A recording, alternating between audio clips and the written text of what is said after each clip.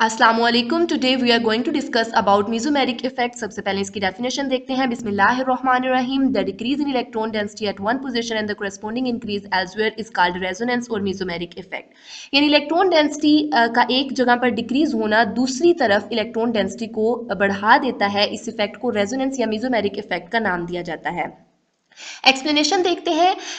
एक ऐसा सिस्टम जिसके अंदर रेजोनेंस इन्वॉल्व होती है, वहाँ पर इलेक्ट्रॉन डेंसिटी की डिस्ट्रीब्यूशन मुख्तलिफ़ होती है एज कंपेयर टू वो सिस्टम जिसके अंदर रेजोनेंस इन्वॉल्व नहीं होती। इसको समझने के लिए एग्ज़ाम्पल लेते हैं अमोनिया मॉलिक्यूल की जिसके अंदर रेजोनेंस अब्सेंट है क्योंकि कोई डिलोकलाइजेशन पॉसिबल नहीं है। और यहाँ पर unshared pair of electron nitrogen atom के ऊपर मौजूद है। अब अगर हम अमोनिया मॉलिक्यूल की एक हाइड्रोजन एटम को रिमूव करा देते हैं और इसकी जगह बेंजीन रिंग को अटैच करा दें तो दैट मीन्स कि यहाँ पर डीलोकलाइज ऑक्सीडाइजेशन पॉसिबल हो जाएगी बेंजीन रिंग की वजह से।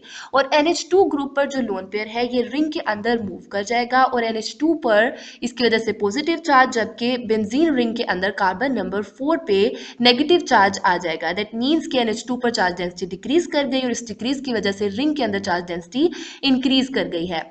NH2 group electron donating effect show कर रहा है। दो तरह के ग्रुप्स एग्जिस्ट करते हैं इलेक्ट्रॉन डोनेटिंग ग्रुप्स जिनको नेगेटिव एम से पॉजिटिव एम से शो किया जाता है। इलेक्ट्रॉन विदड्रॉइंग ग्रुप्स जिनको नेगेटिव एम से शो किया जाता है।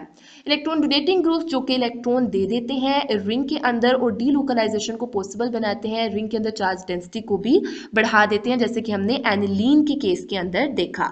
जबकि इलेक्ट्रॉन विदड्रॉइंग ग्रुप इलेक्ट्रॉन्स को बेंजीन रिंग से अपनी तरफ़ खींच लेते हैं और रिंग के अंदर चार्ज डेंसिटी को डिक्रीज कर देते हैं। इलेक्ट्रॉन विद ड्राइंग ग्रुप को समझने के लिए हम लेते हैं एग्ज़ाम्पल नाइट्रोबेंजीन की, जिसके अंदर nitro group highly electron withdrawing effect show करता है। कार्बन नंबर वन और कार्बन नंबर टू पे जो पाई बोन है, ये शिफ्ट कर जाएगा नाइट्रोजन और कार्बन नंबर वन के दरमियान। और स्टेबिलिटी के लिए नाइट्रोजन और ऑक्सीजन के दरमियान जो पाई बोन है, ये नेगेटिव चार्ज की सूरत के अंदर ऑक्सीजन एटम पर मूव कर जाएगा। दैट मीन्स कि रिंग के अंदर कार्बन नंबर टू पे चार्ज डेंसिटी डिक्रीज कर गई है।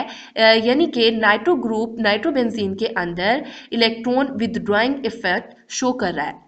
और मीजोमेरिक इफ़ेक्ट की वजह से एक जगह पर चार्ज इंक्रीज कर गया और दूसरी जगह पर डिक्रीज कर गया। Do not forget to like subscribe and share my channel